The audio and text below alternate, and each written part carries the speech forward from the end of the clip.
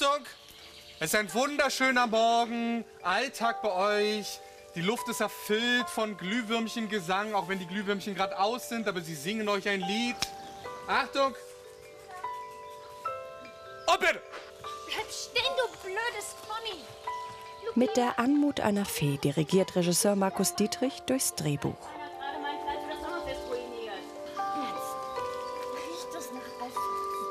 Er braucht keinen Zauberstab oder Spruch, um die guten Geister am Set zu rufen und den Bösen die Stirn zu bieten.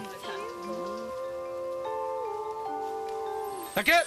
Die gute Fee hier am Set, ähm, das ist äh, für mich vor allem Markus, der Regisseur, weil er äh, ganz, ganz viel Zeit sich nimmt, irgendwie, dass äh, wirklich alle Departments zu dem kommen, was sie brauchen. Und das ganz entscheidend ist irgendwie, dass er äh, wirklich oft für nochmal so einen Energieschub vor einer Szene sorgt. Das ist echt toll. Also deswegen ist er für mich die gute Fee. Ja. Doch ohne unsichtbare Feen wirkt auch die Magie der Regie nicht. Unsichtbare Feen ist immer das Glück. Ne? Ähm, wie wird das Wetter? Ähm, regnet es? Wie viele Flugzeuge fliegen gerade über unser Set? Äh, wie viel Matsch ist da? Funktioniert das so, wie wir uns das in der Auflösung vorgestellt haben? Kriegen wir das in der Zeit hin? Und wenn das alles so ineinander greift, dann ist die unsichtbare Fee da und hat ihre Macht, ihre Schuldigkeit quasi getan. Und dann, würde ich sagen, wird es ein Märchen. Auch Uwe Stark ist eine gute Fee. Der Beleuchter bekämpft die Wolkenhexe und sucht mit dem Grauglas nach Sonnenlöchern. Überall wimmelt es am Set von wundervoll bringenden Wesen, die im Film unsichtbar sind. Dutzende starke und leise Feen mit flinken Fingern und klugen Köpfen gestalten die Szene auf der Vossberger Düne östlich von Bremen und hoffen, dass die böse Wetterhexe nicht dazwischenfunkt. Prinz Himmelblau und Fee Lupine nähern sich schüchtern. Doch da taucht die Hexe Konfidante auf, die beide mit einem bösen Verwandlungszauber belegt und auseinanderbringen will.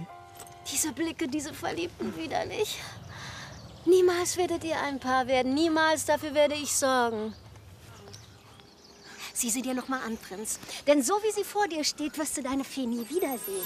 Ich glaube, ein Film kann nur entstehen mit ganz vielen guten Feen. Ähm, da ist auf der einen Seite unser Regisseur ist eine gute Fee, ähm, dann die vielen Leute hinter den Kulissen, die, die dafür sorgen, dass wir hier ähm, einen Kaffee bekommen, wenn wir müde werden, der dann irgendwie durch einen halben Wald getragen werden muss, ähm, die uns schön machen oder hässlich machen, die uns anziehen. Also ohne die vielen Feen würde es nicht gehen.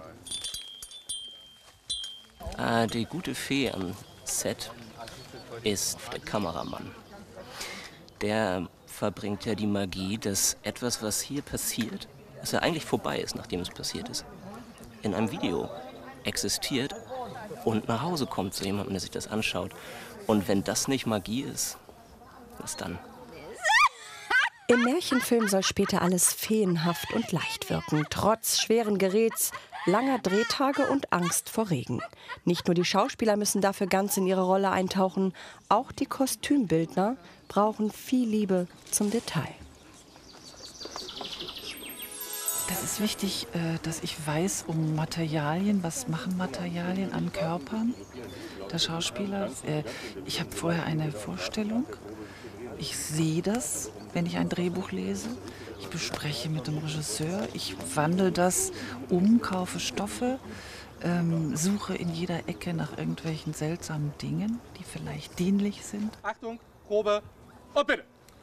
Igitt, das ist ja widerlich. Willst du den da wirklich küssen? Der verhexten Lupine hat sie einen weißen Stehkragen gezaubert, der ihr eine arrogante Haltung Ich habe nach gibt. deiner Meinung gefragt. Fee? Alles, was die Illusion einer Märchenwelt zerstört, wird nach der Probe aus dem Bild verbannt. Lass es uns normal machen. Ähm, lass dich bloß, komm mal langsam auf uns zu. Lass dich bloß nicht mehr in unserem Dorf blicken, du widerlich.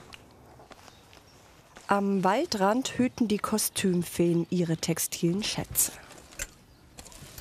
Was haben wir denn? Hier haben wir noch eine ganz süße Fee. Das ist eine ganz süße.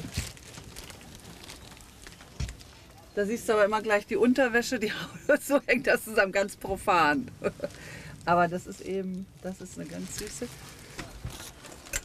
Sie gehören zur Gattung der Jäger und Sammler. Kein Pfützel wird jemals weggeschmissen, denn der Teufel liegt im Detail. Oder hier, das hat sie abgeschnitten und weggeschmissen hier. Das war von einem Feen, So, aber wer weiß, vielleicht geht da was kaputt und dann brauchst du es. Das ist so ein winziger Faden, der kann nichts, der bedeutet nichts. Erstmal, aber wenn der an einem Beutel ist, dann äh, ist der, äh, und der Beutel reißt, dann brauchen wir den. Damit die Crew nicht von Quälgeistern wie Durst und Hunger heimgesucht wird, gibt es ein mobiles Catering, das direkt am verwunschenen Drehort aufschlägt. 50 bis 70 Leute, vom Veganer bis zum Allergiker, muss die Küchenfee am Tag versorgen. Kein leichter Job, aber ein spannender. Zum Beispiel, wenn die Filmcrew plötzlich monströse Lichtreflektoren auspackt. Wir haben gestern haben die Jungs da drüben so komische Teile ausgepackt und dann standen wir schon hier und fragten, wofür ist das denn, was macht man damit? Ähm, weil wir es halt nicht kennen. Ne? Wir kennen halt Töpfe und Messer. Jeder hier zaubert auf seine Weise. Die Maskenfeen haben allein mit den Köpfen der Schauspieler alle Hände voll zu tun, nicht nur bei Fee Lupine. Ich habe in 14 Tagen habe ich bestimmt zehn Haarteile gemacht, gebaut, gedressiert, geknüpft. Ich habe mich bewusstlos geknüpft. Als verzauberter hässlicher Prinz ist Himmelblau zottlig und vernarbt. Immer dann ist Lupine wunderschön, aber arrogant. Diese Verwandlung kostet natürlich Zeit. Andere dunkle Mächte halten auch auf. Wenn wir schlechtes Wetter haben oder so und wir dann überall Matsch ist, dass viele Autos stecken geblieben sind und alle mit ihren Stiefeln im Matsch standen und keine Ahnung.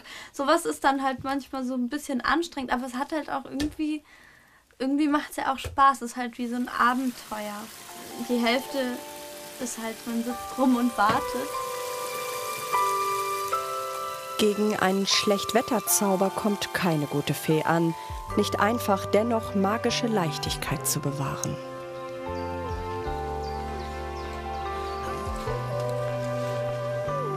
Und dann der Wind. Ständig trägt er Fluglärm in das sonst so idyllische Feencamp bei Tarmstedt.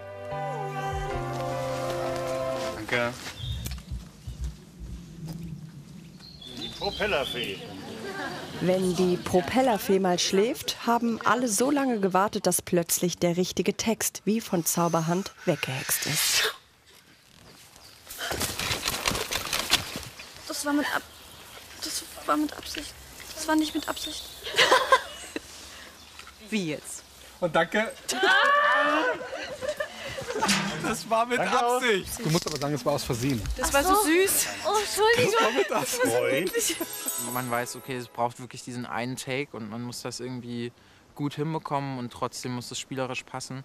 Und da ist man immer sehr erleichtert, irgendwie, wenn sowas funktioniert dann letztendlich. Ja klar, ich meine, natürlich ist es harte Arbeit. Das, ja, wirkt immer alles sehr, sehr romantisch äh, im Endergebnis. Aber natürlich, man verbringt ganz viele Stunden im Wald. Da gibt es Zecken, da gibt es äh, Mücken und äh, ganz viel Ungetier.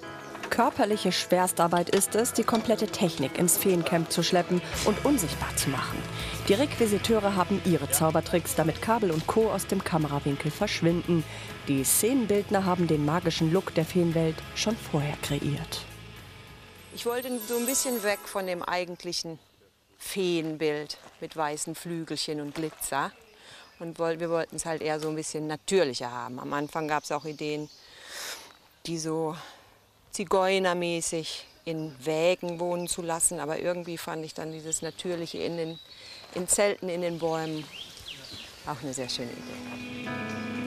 In Handarbeit wird in letzter Minute an Details gearbeitet, zum Beispiel an besonders feenhaften Wäscheklammern. Das alles sieht so zauberhaft aus, dass es sogar das Filmteam in den Bann zieht. Ich finde das voll schön. Ich habe mich so doll auf den Tag gefreut, dass wir endlich an diesem Set hier sind, weil ich das am allerspannendsten fand. Heute droht kein Regen, die Szene zu zerstören.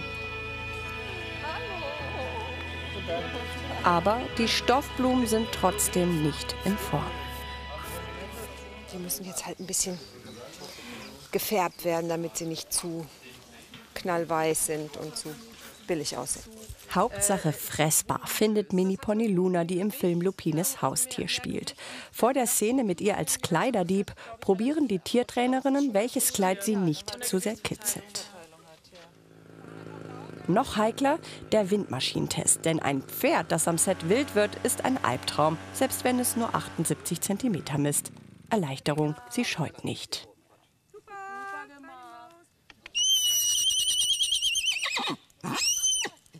Stehen, du blödes Pony! Statt zusätzlichen Stress zaubert das Mini-Shetland-Pony gute Stimmung im Feencamp. Luna entfaltet den vollen Zauber einer vierbeinigen Fee. Sie spielt wirklich gut. Heute hat sie einen kleinen zickigen Tag. Sie hat Hunger. Aber Sie frisst jetzt nämlich nicht mehr alles. Nur noch das ganz Das ist wirklich Heu. die- Nur noch das entwickelt- Starheu. Sie hat sich jetzt so in die Rolle eingelebt, dass es überhaupt kein Problem mehr für sie ist. Also auch so diese Blumen auf dem Rücken. Das macht nicht wirklich jedes Pferd mit.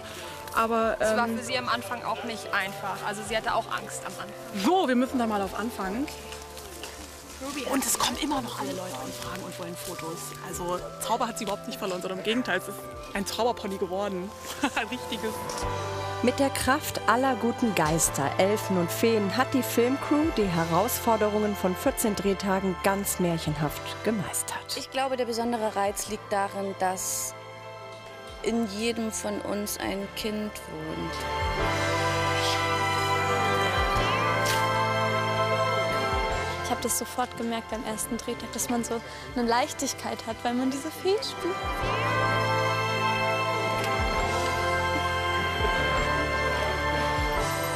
Wenn alles abgedreht ist, ähm, dann geht die Zauberei natürlich weiter, weil dann sind wir im Schneideraum äh, und hoffen, dass der, äh, der Schnittmeister zaubert, dass die Postproduktion zaubert, dass der Komponist zaubert. Also es gibt noch sehr viele Feen, die noch warten, ihre Kraft quasi ähm, zur, zur Geltung zu bringen.